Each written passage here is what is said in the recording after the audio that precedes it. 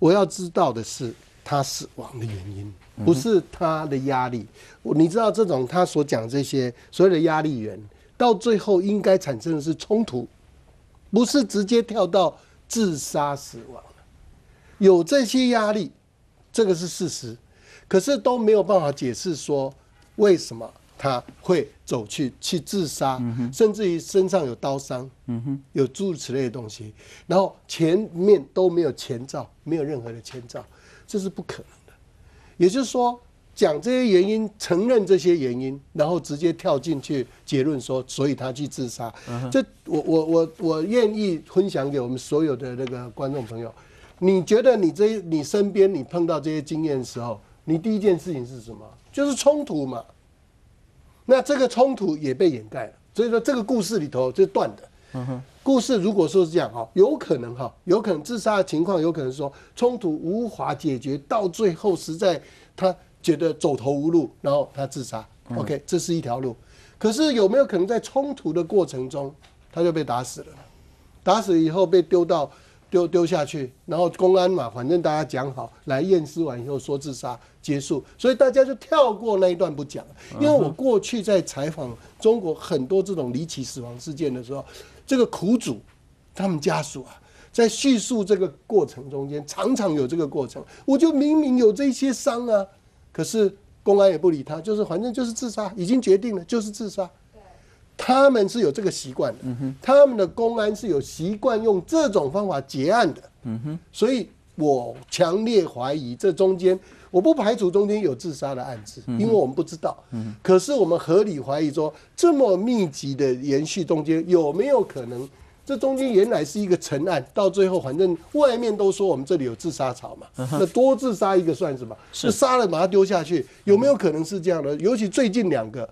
更令人怀疑是这样，所以这个这个当然就是牵涉到中共这个体制啊，尤其他们所谓的警警察体制、武警体制、所谓的调查公安体制，基本上是会吃案的。嗯哼，这个是非常清楚的，他会吃案。那在这种基础上面，我我但有一部分是对郭台铭先也觉得他真的是束手无策，他怎么办？如果他自己有密报，有人告诉他说这不是自杀，这是他杀，现在就。就比较容易。如果他是单纯就是连续有自杀潮，嗯哼我认为郭台铭先他一定可以有很一个一个对峙的方法嘛。可是如果是他杀呢？他现在怎么办？他他这要怎么处理呢？嗯哼那这个事情，我认为王丹讲的完全正确。富士康这个是被凸显出来的。所以这后面可能还有其他故事，这个就是说，出这个郭台铭先生的另外一个困难是，这是被凸显的。我相信《南方周末报》这个，但我听到王南先讲的是没错了。他说远远称不上血汗工厂这一句话啊，其实其实是血汗工厂，这怎么不是血汗？是，可是可能比他条件更恶劣的血汗工厂。也可能有死亡事件了，那他们这个这些事情，他们就自己都掩盖了。所以这个富士康的问题，我们讲的不是这十个离奇死亡事件，可能是一个零、两个零、三个零，比这个更多的死亡事件。其实我们现在看到这个，就知道说那个地方其实有非常多这种沉冤莫白的事件，其实都有发生。那这些。都不都没有被报道，那更是掩盖的一塌糊涂，根本就外面苦主根本就没有办法出来讲话，这种可能性有没有？有，所以我觉得这个案子啊，真的是复杂的程度，其实我觉得需要我们非常努力的去去理解。但是最重要、最重要一个人就是郭台铭，你的工厂发生这样的事情，你不可以这样的不明不白的就这样，你有一天没一天的这样。过日子，这不是你的态度吗？是是是是，像我们其实常常会批评说，哎，年轻人草莓族抗压性不够。可是事实上，其实这是在扭转一些议题。譬如说，富士康的这一个新闻发言人刘坤，他讲说，这个问题是复杂的社会问题。换句话说，他是讲说，这个是八零八零后之间的问题。所以，社长，你压根不认为所谓的八零后是自杀的关键主义？我觉得那个无法解释，无法解释自杀，能够解释说他们。就动不动就不工作了，哎，可以。啊，对。不对？动不动就换工作了，换工作了，那就是跟主管吵起来，就是计较，很计较。因为他在家里都是是孩子王啊，是霸王啊，那你怎么可以这样指挥我？这个可以解释。可是现在你有没有看到，整个我们看不到那个冲突的过程，我们只看到最后他自杀。是，那你怎么可以？他他可能选择自杀吗？自杀其实有很复杂，不是说什么一时兴起就会自杀。自杀有很复杂的心理跟的内在的有机跟这个这个这个精神状态跟有机状态的一些变化，才会有自杀这个行为。自杀这个行为在精神医学里头是非常列为某种程度是精神发作的一种状态。那这。这个不是一个简单的过程，不能就给他们三言两语，这个实在是太不满意了。不过铁子，我要请教你，然后，可是我们从另外一个角度来看到，中国的自杀比例是全世界排名很前面的国家。我都怀疑，但是那个有可能是社长所说的，其实是他杀变成是自杀比例。不过我们来看看所谓的，我们根据的是霍顿教授的这一份调查报告。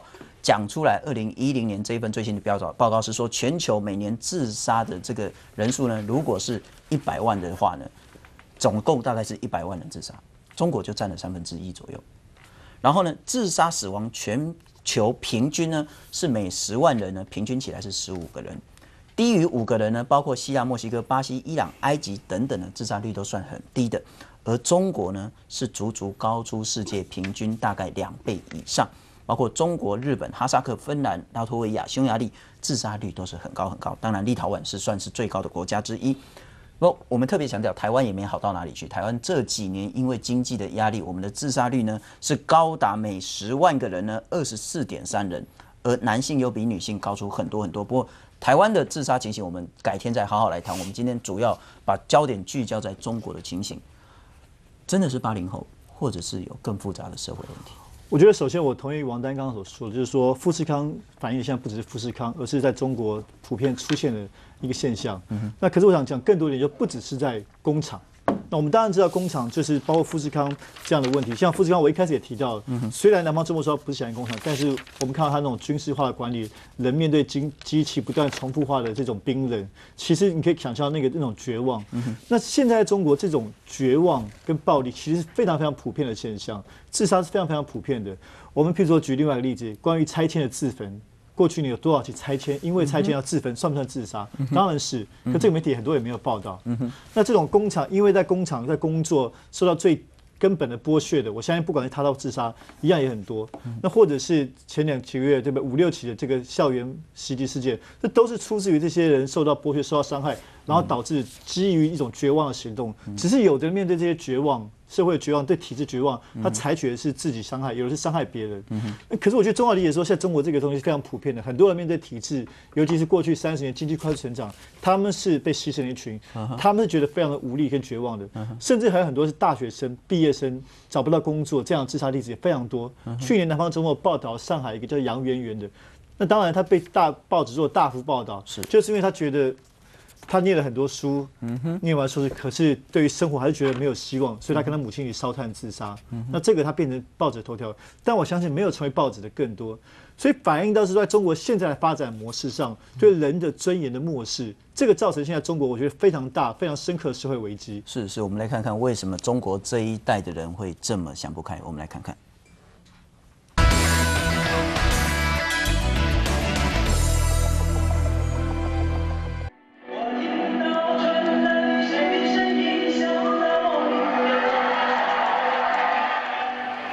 歌声加上丰富的肢体语言，在年度晚会载歌载舞的卢星，其实一直活在阴暗角落。这个月六号，他自行结束了二十四岁璀璨生命，成为富士康第六起跳楼身亡员工。中央台特别长篇报道，最终卢星碰到了问题。那他就是比较真的比较节俭，然后就是比较孝敬父母亲啊，就是每个月都能够寄钱回家。哦，他每个月你就你了解到大约可以寄多少钱？我记得话，第一次发工资，他可能就发了，嗯，就发了一千八到一千九，他都寄了一千五回去。卢鑫是来自乡下的穷孩子，父亲为了让宝贝儿子念高校，努力做工，在一次意外中摔成残疾，家中的重担全落在卢鑫身上。卢鑫遗留的札记中写着：后悔选择了生产线，但加班费多。却很不快乐。如今沉重的家庭经济压力，反映了中国一胎化政策下年轻人压力冰山一角。中国社会目前高自杀率的，除了刚步入社会的年轻人，其实女性还多于男性，农村自杀的比例还高于城市三倍。这些异常于西方已开发社会的高自杀族群指标，让中国社会系统亮起警讯。这些女性啊，她可能承担了太多责任。那这个在那时候的研究角度里，会看到说，因为很多先生可能就是要上城市去打工，他一个人在家里面呢，又要扮演要照顾高堂老母亲，又要扮演照顾小孩子，又要去做农事，他身上是变成是一个扛着很多压力的高压组，确实都是跟我们一般对国际概念那种自杀趋势是不一样。由于中国政府并没有建立全国性的死亡报告，使得中国自杀防治工作绩效有限。而研究中国社会现象的台湾学者还认为，八零年代后实施的一胎化政策下的独生子女，在中国社会被称为“独苗”。这批独苗在心理及人格方面的缺陷程度比想象严重。第一次考试成绩不是很符合父母的这个期望，听说他妈妈就打他一个耳光。这个小孩子就马上就跳楼，就跳下来了。大陆社会现在基本上是处在一个说变迁中的一个社会，那变迁各种各样的都是在还没有这个固定下来，因此呢，有特别年轻人对于未来这个充满了一个不确定性。中国官方宣导资料指出，在中国平均每两分钟就有一个人自杀身亡，呼吁珍惜生命。居高不下的高自杀率，代表的是对社会的高度失望，也让富有的中国落印上社会不安定的危险指标。不，林老师，有些社会学者认为说，一个人选择自杀，他其实所象征的是对整个社会表达了最深沉、最严厉，而且让社会无法回应的最痛苦的一个控诉。在这一连串的富士康员工跳楼自杀之后，我们很难得的看到又有学者去做联署的这个动作。在刘晓波写了这个零八宪章之后，基本上中国已经不会有学者敢再共同来联署。可是，在富士康接连自杀跳楼之后呢，包括北大、清大以及香港的很多间这些研究社会学的老师们，有九个老师们，他们联署公开了一封联合公开信。呼吁中共当局要审慎的来处理这件事，包括说劳动者的基本生存权长期被忽略，以农民工的身份作为借口，这些人不是城市居民，所以你可以尽情的剥削他们，用低于第三世界的工资水平来支付这些劳工的报酬，再来看不到打工通向城市安家生活的可能性。深圳那个地方生活费之高，可是你一个月就赚九百块基本工资。怎么活下去？你当然要尽可能的去加班。再来，打工的意义如果轰然坍塌的话呢，是引发自杀的结构性的原因。企业不管是台商，不管是外资，不管是入企呢，应该要给劳工有尊严的工资，创造基础物质条件，成为真正的企业公民。地方政府应该要为农民工提供住房。教育、医疗等等的社会福利、社会需求，使之成为真正的社区公民。国家要立即终结以牺牲人的基本尊严为代价的这种发展模式。我最最最大的疑惑是，中国共产党不就是以农工讲无产阶级革命吗？怎么变成是无产阶级被剥削的是最痛苦，而且必须选择自杀来去作为抗议的这个族群？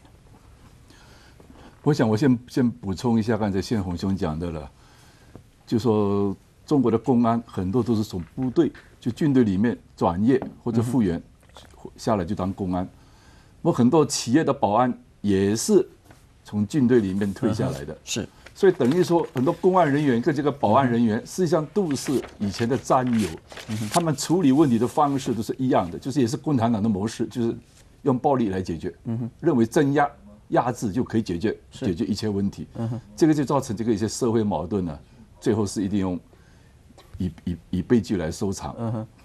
那么同样的碰到一些我们刚才讲的一些，比如像一个什么心理问题之类的，这个也是中国的心理问题、精神问题应该最多的，因为中国的社会是封闭的，是，但是也偏偏是这样子，中国的心理医生可能是最少的。嗯呃。在在文革的时候，包括五零年代，中国在大学里面那个社会学跟心理学是基本上都给，都给砍掉的。但很多碰到这种问题都是用政治，是用政治来解决，一直到现在这个问题还没有还没有完还没有完全解决。那么在刚才你谈到的，就是现在为什么这个中国那个是好像以工农出身的啊，以工农起家，现在是最漠视最漠视工农。实际上我我自己认为，那个就以前南斯拉夫有一个理论家那个基拉斯，他不是写了个新阶级，就是共产党，他表面上是工农起家，但实际上他拿到政权以后，他就成为一个新的阶级，新的这个统治集团。哦，他最谋士的、最忽视的，实际上就是过去最支持他们的工农大众。嗯，现在中国也是也是也也是这个也是这个问题。是，所以呢，现在现在我们讲的血汗工厂为什么能够这样子存在？实际上呢，为什么很多外资，包括台商、港商喜欢到中国去投资，就是因为只要你跟政府、跟当地政府相互勾结，你就可以获取最大的利润。我九零年代我去过几次东莞，呃，一些一些是台商、港商那边，我都看到什么东西呢？他们招工啊，都是一定要讲什么呢？我这里每天要加班。嗯哼。如果你如果你没有写每天加班了、工人不来啊。嗯哼。为什么呢？因为每天加班，我的收入就可以多了。是。如果是没有加班，我的收入根本就不够，不够养不够养活我自己，更也不够这个回那个寄回家里。嗯哼。为什么说十三天工作十三天休息一天呢？这一天就是给你到邮局，嗯哼，去寄钱回家。他是他是这样子安排。如果说是你不需要寄钱回家的话，他可能就是一一年三百六十五天都不需要休息。嗯哼，是这样子一个，是这样是这样子一个这样子这样子一个那个那个市场模式。所以我当时看的，像为什么我说富士康可能比比别的地方好呢？它里面一个宿舍十个人住，我去看过那些宿舍，是跟教室一样大，是住几十个人的。嗯哼，所以说所以那个情况就是让我想起过去马克思主义讲的那个刚才你讲的资本主义的那个那个。那个原始阶段，但在中国现在就在在这里这样出现的。是是，我自己到东莞去，那些台商每天晚上就请公安局长跟派出所长吃饭，我都在场。吃完了以后一起到卡拉 OK，然后跟那些女的什么一起跟那些少女年轻人，然后他们一个口号就叫完了跳完舞唱完歌就就地正法。所以我看到太多东西，太多这些东西。嗯但是过去我那个。我的老板跟我讲，这些东西你千万不能写出来，你写出来可能就没有命了。嗯哼。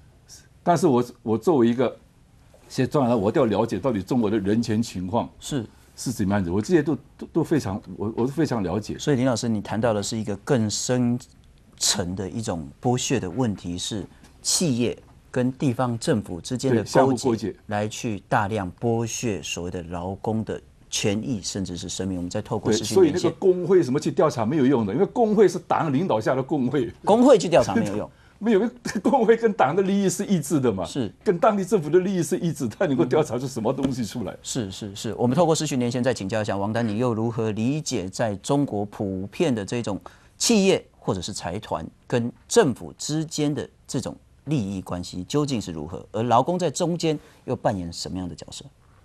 其实大家啊，不知道还记不记得啊？就是这家富士康公司四年以前，二零零六年就在大陆出过一件事，他以名誉侵权的纠纷为由，向中国的第一财经日报的两名记者提出过总额三千三千万人民币的索赔，而且还要求深圳市的中级人民法院冻结那两个记者的个人财产。为什么？就是因为那两个记者去揭发血汗工厂的本质，嗯哼，我觉得把四年前这个事件拿出来看，就可以看出很多的端倪。是，这个中级人民法院啊，当即就就答应了这个富士康公司的要求，就把那两个记者财产就冻结了。你说中国政府啊，打压新闻自由，这个我们一点不奇怪，我们见太多了。可是你现在看到啊，台商企业富士康跟中国政府勾结在一起，打压新闻自由。当时在中国网络上掀起轩然大波呀，而且是非常大的舆论压力，所以后来富士康、红海集团还开了高层会议，决定将索赔金降降成一亿元人民币了，然后也解除了冻结等等。我觉得通过这个事，你可以看得出来，它跟今天发生的事情是有关联的。这个就是刚才林老师提到啊，在中国的现在这些工厂里，其实这也是中国面对的一个很大问题，就是资本家跟政府。金钱的权利跟政治的权利结合在一起，对人民形成压迫。是，那这个这个是庞大的一个势力区集团、权贵集团。那个一般的老百姓面对着集团，真是一点没办法。他除了自杀，还有什么办法可走？是是。我我这里啊，要特别提出一个问题啊，我觉得我们都没有谈到。我觉得应该强调一下，就是所谓的台商问题。嗯哼。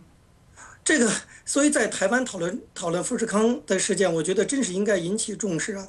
大家知道，我我在美国主持这个《北京之春》杂志啊，我们有记者在在在东莞那边发回来的报道提到啊，在珠三角那么多的外资企业里，风评最不好的就是台商。嗯哼，这个台商你跟日商比，跟美商比，那完全没法比。那个工作环境的恶劣，那个制度的严苛，那个工资的低。把台湾在经济崛起过程中不好的东西拿到大陆去，极度的放大，口碑是非常不好。我觉得通过富士康事件啊，应该对台商在大陆提起一些警告。其实过去东莞那边就出过类似这种，就是把台商什么全家杀了等等啊，那个背后有没有？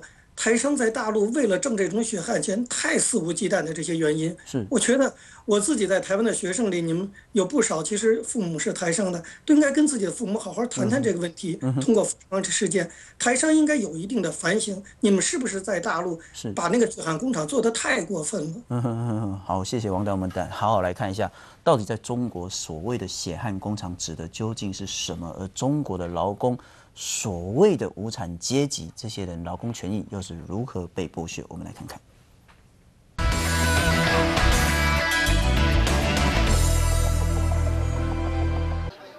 中国经济成长一飞冲天，但中国基层劳工的工作条件却没有更好提升。去年八月，在浙江省爆发好几间电子工厂大罢工，劳方要求改善工作超时以及薪资常常被扣的问题，但厂方以罚款以及没收工资威胁，态度强硬。台湾学者表示，中国其实依法有工会，但是工会自主性不高，不会站在劳方立场维护权益。在富士康的劳资关系传闻不平等的合同也。有待检讨。五年不能离开，如果离开的话，就必须要做做什么样的赔偿？我认为压力也是有啊，也会产生啊。据富士康新闻，中国网友还痛骂连续闹出人命的富士康就是剥削劳工的血汗工厂，遭到富士康严正否认。对富士康来说，资方愿意付高薪给员工，被冠上是血汗工厂的代号，实在太沉重。但在在中国，血汗工厂低薪剥削劳工，甚至残杀劳工的却不是谣传。零七年六月，湖南。卫视报道了山西省临汾爆发村支书记儿子所经营的砖窑厂，竟然用铁棍及狼狗对付劳工，很多人被打到遍体鳞伤，甚至神志不清。看到这样的景象，让社会震惊。他跑了，老人啊耳朵割掉了。每天他们早晨一起来，那个地方有人，这边上有人，这边有人，都看着。一直干活的时候把你送到那工地上。没，一个人稍微这个离开一点，他马上就知道。还有很多劳工被榨干劳力，却没有领到一分钱，原因是他们是被骗的未成年劳工。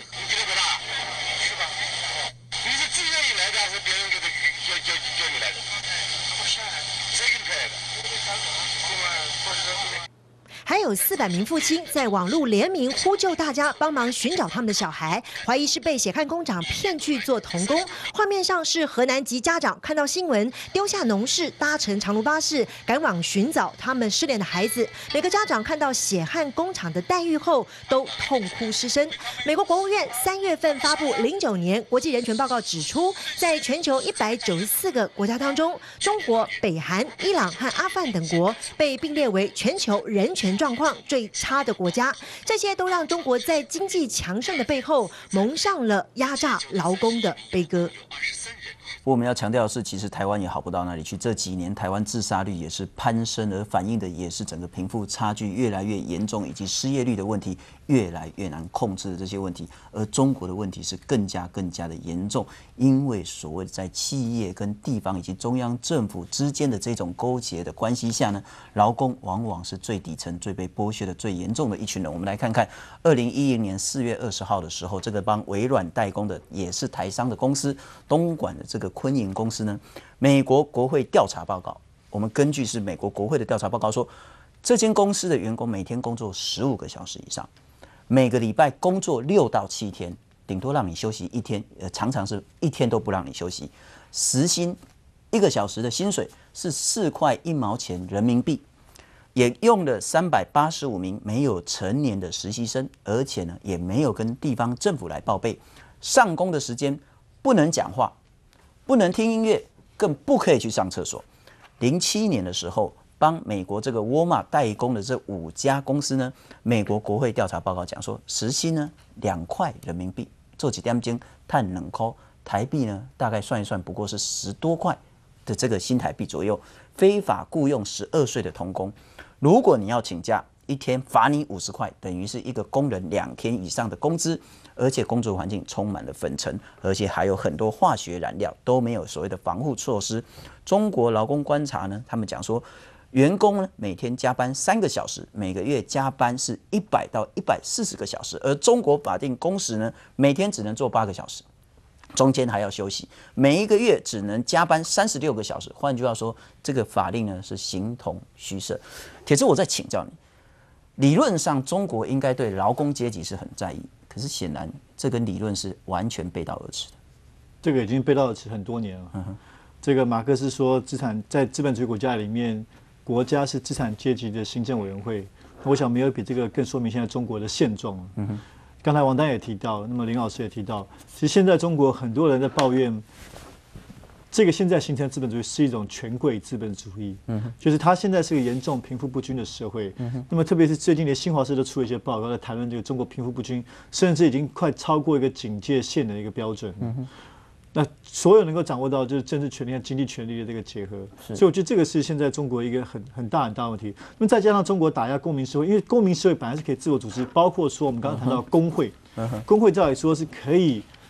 站在工人这边去跟资方国家去争取一定的权利，那我觉得这个从国家发展说当然是好事情，因为它保护工人。那可是中国就不断打压这样工会，甚至不只是工会。那么我们看到打压其他的 NGO 团体，那其实这些 NGO 团体都是可以帮助的。譬如说，我昨天文章写到，在今年三月，中国关掉北大的一个妇女法律服务中心。那你看，其实这样的中心本来是可以帮助更多妇女的。那我们可以想象，如果这样的 NGO 组织慢慢消失的话，那是不是会有更多的人走上绝望甚至自杀之路呢？所以这个打压公民社会，我觉得是一个很严重的问题。那最后，我是觉得，我觉得王丹刚讲的非常重要。我们谈中国的工人问题，当然中国政府是最大的负责的。但是从台湾的角度，我觉得对台上来说，我觉得台湾的公民社会的确应该给台商更多的压力，要求他们。因为既然在中国，我们知道工人不能站站起来为他们说话。那么台湾从这个出发，我觉得我们应该站起来，给台商有更多的压力，让他们能够走一个更人性、更尊严的方式。是市长，我其实就刚王丹那样讲，我会觉得很难堪的一点，就是说很多以前所谓的认为台湾的民主、所谓的自由、有尊严，然后两岸互动之后，我们可以去改变他们、提升他们，显然没有。我们不但没有帮助到中国这些基层民众，反而我们是在做帮凶。台湾在做什么事情？台湾的这个民主经验呢，说起来其实非常脆弱的哈。其实这些都可以从台商身上看看得到哈。那为什么这一回我们要一开始就对郭台铭给他压力的原因，也在说他其实是最大的一个代表。嗯哼。呃，他的财富有目共睹。嗯哼。所以不是钱的问题。这是人的品格问题，你能不能做一个？而这个问题为什么在意？就是说，你的行为会成为一种中国大陆广大的劳工怎么看台湾人的问题。是，所以这不是你工厂的问题啊，是整个台湾的形象会被破坏掉的问题。那现在你也看到，有一些中国的媒体已经开始报道，我认为这个背后慢慢慢慢就是台商就是这样。这个形象一旦形成，被约定俗成了以后，这个很多我们看不惯这些台商作为人啊，我们到时候怎么为台湾讲话？嗯哼，所以当然，王王丹提出一个很重要的一个议题啊，就变成是台商是不是跟中国政府联合起来压榨中国劳工啊的一个呀？那当然你可以知道说，这些台商在台湾的时候不敢这样做的。可是到了那一边，完全整个行为就变了。嗯哼，就说这个环境本身也就看出台湾这个整个的脆弱化的过过程，这个民主脆弱化过程也值得我们警惕了啊。为什么一个人在两个地方有不一样的行为行为表示呢？这个我觉得台湾的政府其实也应该要把它当成一个议题，不要只谈法，要谈这个问问题，就是说。我你在那边的环境跟我们这边环境，我们有我们自己。如果说我们的政府还相信说台湾呃无以为宝，以民主、自由、法治啊为保，那你就要保障你这个民主、自由、法治走到中国去的时候，你还是要用同样的方法去处理这样的东东西嘛。那当然有可能有人告诉我说这样就没钱赚了，那我们就要疑问，就是说，那你去那里赚钱干嘛？你赚得的只不过把台湾污名化而已嘛，也就是说，这一点对郭台铭来说是最大的最大的挑战嘛。是是是，钱不是问题嘛？你怎么解决这个问题？你要拿出一个解决方案，让人家感受到说台湾人不是。无灰无白晒了，无血无泪，不可以做到让他感觉无血无泪。李老师，你对中国的内部的，不管是民民众的基层意见，或者是舆论，会比较熟悉。我想问的是，刚我们也谈到，富士康是坚决否认它是血汗工厂，他给更高的薪资，他怎么会是血汗工厂？可是我想问的是，说如果从中国基层的民意或者是舆论来看，他们如何理解台商在中国大陆？我觉得台上要很小心。现在中中国将来社会矛盾无法解决的时候，会把这个责任转移到台上跟港上，因为我们知道那个李嘉诚是首富，跟中国关系都好，但是呢，他的儿子已经被中央电视台点名，说是因为这个高楼价，是他搞的，是他搞啊，所以把他处分，不准再从事地产买卖。是，现在中国的媒体也在开始点过台名了，这就把社会矛盾好像都是港商跟台商做的。